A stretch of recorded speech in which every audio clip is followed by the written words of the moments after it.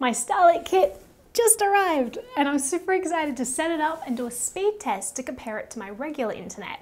But first, let's talk about why it's a game changer. We're on the cusp of a new internet revolution that involves satellites and a race to provide super fast internet to every inch of the world. 40% of the population doesn't have internet access.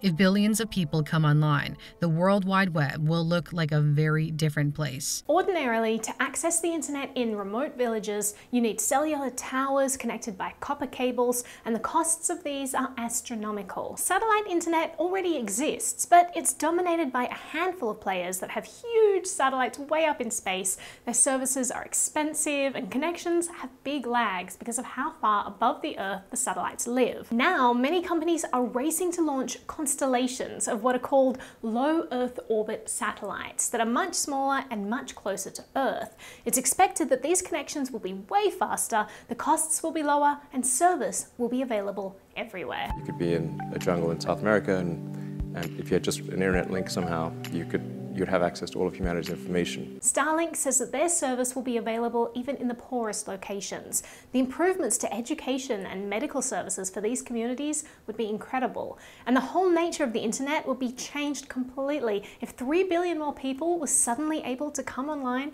for the first time. More than a dozen companies have applied for permission to operate constellations of satellites and provide this kind of internet service. Amazon has a project called Project Kuiper, but they have yet to finish their satellite's design and begin launching. OneWeb is another major player, but they were just bailed out of bankruptcy caused by COVID and are now 45% owned by the British government.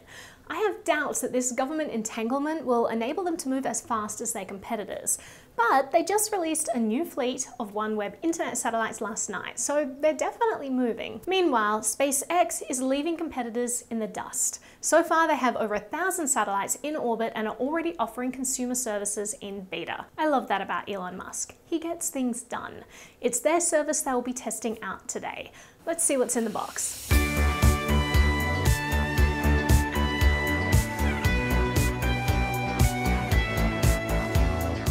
Users get this pizza-sized dish. It clicks easily into a stand. You plug it straight into the wall and into a router, and voila, high-speed internet. The router itself is pretty cool looking too. If a Cybertruck were reincarnated as a router, it would probably look like this. All this equipment was $500. By comparison, my current modem and router together cost $260, so Starlink equipment is around double the cost. If you know how to use a drill, then there are no installation costs. You put the disk outside, screw it down, plug it into a power outlet, and you're done.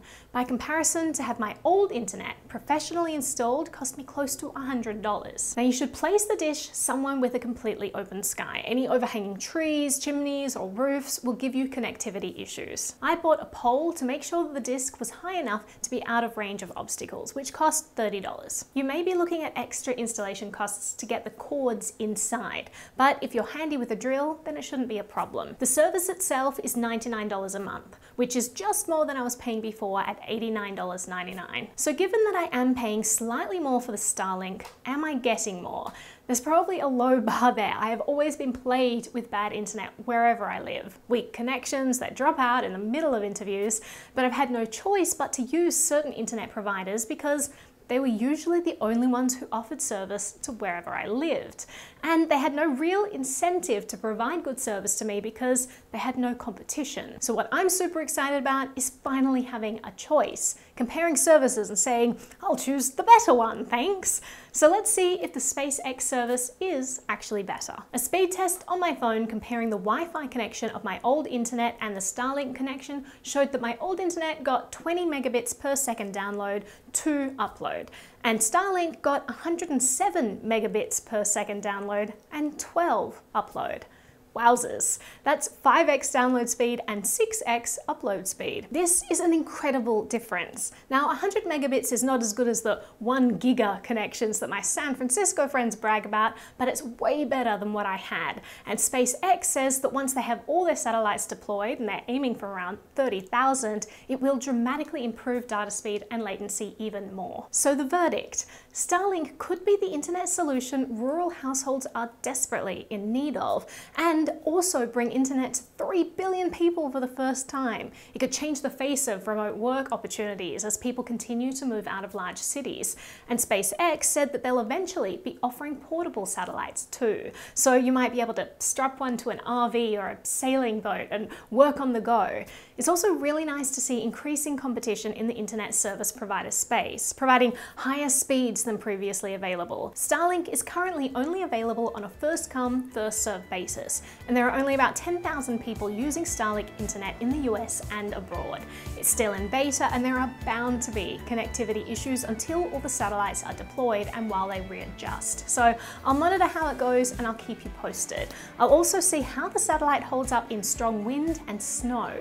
But so far, I am super happy with the purchase. Thank you SpaceX for dreaming big and providing cool tools.